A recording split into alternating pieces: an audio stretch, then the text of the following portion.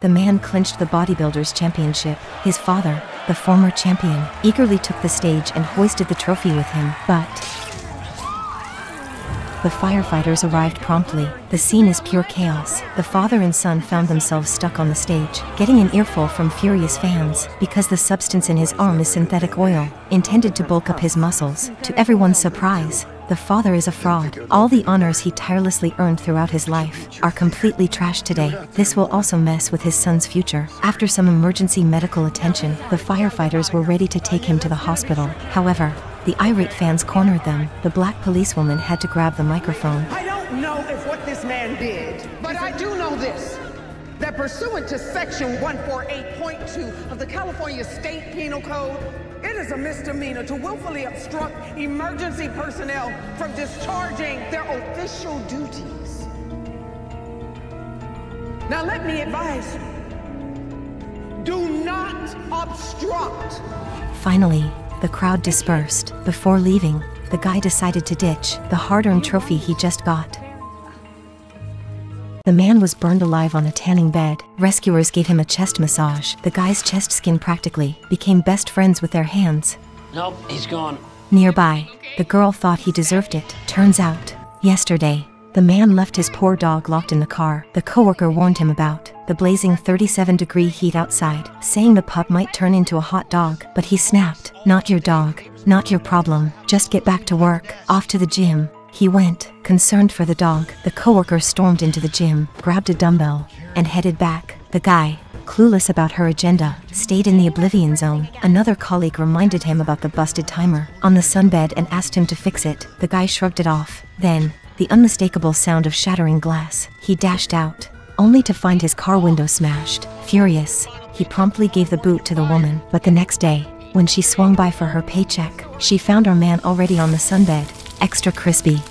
The guy was taking a leak out of nowhere. The portable toilet skyrocketed into the sky. Just a minute ago, the guy really had to go. He rushed to the portable toilet in a hurry. As soon as he shut the door to answer nature's call, a blast of hot wind hit. The girl's ice cream melted in the blink of an eye. The temperature kept climbing. The guy inside the toilet was sweating buckets, so he stripped off his t-shirt. He wanted to bail, but when he tried to open the door, the handle was scorching hot. The sealed space kept getting hotter. Realizing it was getting dangerous, the guy started calling for help. Out of the blue, the portable toilet soared into the sky. It surpassed the Ferris wheel, ascending higher and higher. The poor guy inside was tortured to the point of misery. With no other option, he dialed 911. The operator asks him where he is, but he's completely clueless. He tries to kick the door open, but the handle has melted and melded with the plastic. Just then, the toilet starts filling up with water. It seems the guy might have ended up in the sea. The water level keeps creeping up. The guy is absolutely terrified. The operator keeps reassuring him. After checking some info, she finds out the top of the portable toilet is fastened with screws and can be opened with a coin. Luckily, the guy has a coin on him. Just as he's turning the screw, the coin slips into the water, crushing the man's last hope. At this moment, firefighters roll up to the amusement park and locate the toilet in a massive water tank. They slice open the cover and indeed find the guy inside.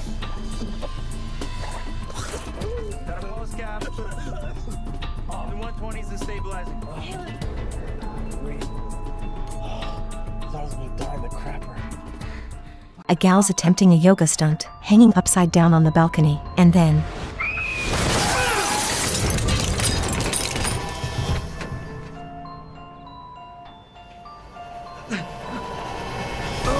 The rescue team storms in. She's frozen, contemplating life from the seventh floor ledge. They're ready to call in the CSI squad when she miraculously wakes up.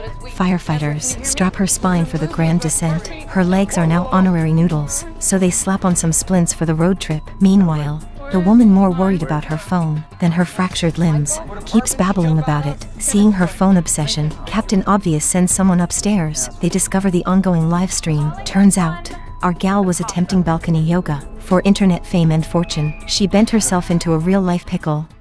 The girl is going full primal on a steak. The dude can't believe his eyes.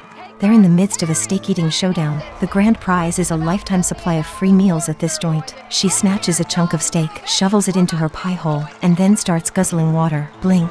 And she's transformed half a steak into a meaty memory. She mocks her opponent, earning cheers from the peanut gallery. The beefy dude, realizing he's outmatched, wisely concedes the meat crown. The gal, high on steak triumph, throws in some impromptu dance moves, but suddenly topples over. Enter the firefighters who see the girl's bloated belly and initially think she's got a baby. It's only when they spot her bladder on the brink and the empty water cups that they realize she's got a serious case of hyponatremia. They improvise and catheterizes the girl right then and there. The restaurant owner tries to play peacemaker, but ends up getting hit with a surprise urine shower, turning his prized celebrity wall into an avant-garde art piece. Would you take a bite out of this wild challenge? The poor, chubby otaku died at home, discovered after decomposing. His body's turned into a decomposing balloon, especially his belly. Firefighters are scratching their heads, trying to figure out how to haul him out. The genius forensic expert suggests turning our hefty friend into a jigsaw puzzle to fit him through the trailer door. But hold up, there's a crowd outside. We can't let our guy, the lifetime Joker, lose his dignity in death. So, the man grabs a 777 meters knife and goes all operation room on the chubby guy's belly. Out comes a symphony of foul gas mixed with decomposing juices. The smell? It's legendary. The reluctant medical examiner, stuck with the cleanup, shoves tubes into the poor guy. Slowly but surely, the body deflates. They pack the chubby guy's remains into a body bag. He gets to keep a smidgen of dignity. Who knew death could be this absurdly entertaining?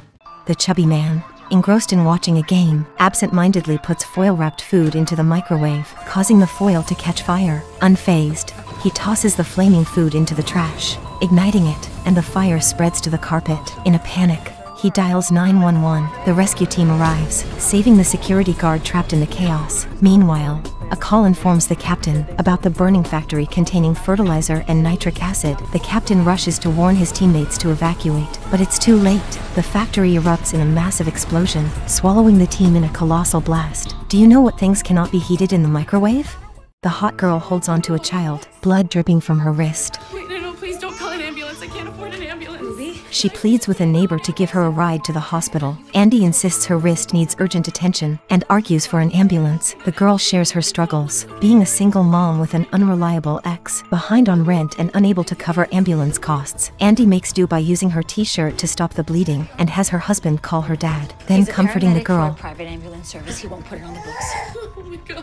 She eases up upon hearing the plan. The elderly man takes her to the hospital, leaving the couple to look after the kid. Unexpectedly, the little troublemakers start messing around with the man's toy gun. Now you're the bad guy.